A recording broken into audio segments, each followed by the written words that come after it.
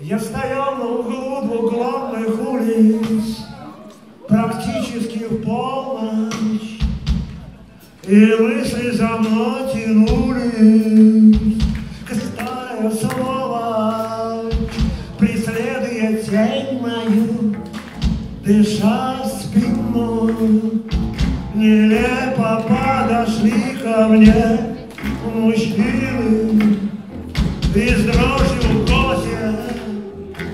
ты рука, я в их глазах увидел страх.